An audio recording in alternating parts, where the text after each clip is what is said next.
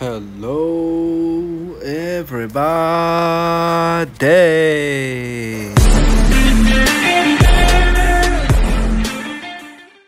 Welcome. Today we are going to learn how to make colored shapes here in Google Docs. Let's start from scratch. So you have your blank page here, you hit insert and you go down to drawing and select new. Once you select new, you're here on the canvas where you can insert shapes from here and take a look at all these shape categories. You have all these different types and groups of shapes.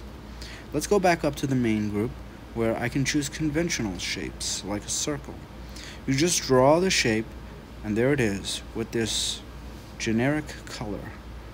You can just choose a solid color of your pleasing you can also choose a border color, but make the border thickness greater so you can see the border clearly. Okay, you can move the shape around like this. Just select it once with your finger if you're using an iPad, or if you're using a mouse, just click on it once. And then you can move it around. Once it's here, you need to change that bottom button there from right down here. You want to change it to in front of text or behind text. The last two choices there. Once you do that, you are free to move the picture around on your page wherever you please. This is the gist of the lesson. This is the crux of it all. But now let's get more advanced. Let's write a little something on the page, create spaces and paragraphs. Let's see how it affects my shape. In this case, it does not because I can still move it around and I can even go back inside and edit the shape. You can choose different colors for the border.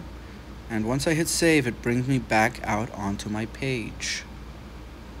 So now that I'm on my page and I have this shape that I've inserted and I can move it around and resize it and re-edit the shape, I can go back in, change colors, come back out. Now I want to use this principle repetitiously. I want to create yet another new shape by going to insert, going down to drawing, and then choose new. Now I'm in a separate new canvas. I'm going to create another shape with another color. A triangle. I'll just select the shape fill tool and choose this pretty green. I can also go to gradient and choose a gradient green which looks like it's glowing or has shadows. You can even customize the gradients, combinations of colors and shadows and other selection choices. I think I'll go to solid and choose a solid green so that my shape matches with my other shapes. I want to give it a bright green border. So what I need to do now is click on the shape, just click it one time, move it, and then up here click on it once and go up here to border and choose the color I want. It's really thin, so I just go right next door and click border thickness and choose 12 points so that the border is visible. You can rotate the shape, of course. That little ball on the top, if you just grab it, you can rotate it. Okay, my shape is here again. It's stuck. It's hard to move until I press the button behind text or in front of text and once I do that, I'm able to move my shapes around freely. As I move my shapes around, you notice it does not interfere with the other shapes or text on the page. There's no text right now, but if there was text on the page, these shapes would have no effect on that text.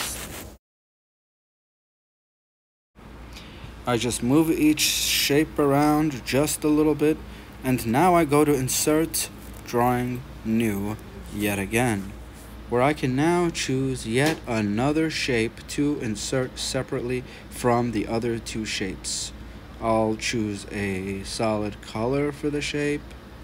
Hmm, I think I'll change it to a darker red. And for the border, I'll choose this bright red and make it thicker. Hmm, there's not enough of a contrast between this red and the other red, so let's see if I can't customize my red and choose a brighter color so that it contrasts better with my inner shape. Okay, bright red, dark red. Very good. And here's my third shape. Now I'll just select behind text so I can move it around freely. And now each of my shapes move around independently. And I can even edit specific details for any of these shapes by pressing that edit button. So you just click on the shape first and then press that edit button. And these shapes overlap as well. So you can go ahead and change overlap selection settings as well, such as which shape is on top of which other shape. You can even set an order if you're really meticulous about it. So now that I have these three shapes here, let me go ahead and write a sentence on the top of my page because that is a good way to wrap up an assignment. This is a video on how to create shapes, colored, colored shapes. Folks, if you found this video useful and helpful and entertaining and amazing to all your senses and all your needs, please be sure to hit that like button and subscribe to this channel if you would like to support the channel and show the channel that you want the channel to make lots more videos. Also, please feel free to hit that share button and share this video with friends and family whom you think might find it useful and entertaining. Thank you for doing so.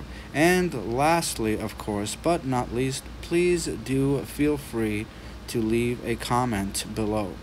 As always, your support is appreciated. I'll see you on the next one. Goodbye.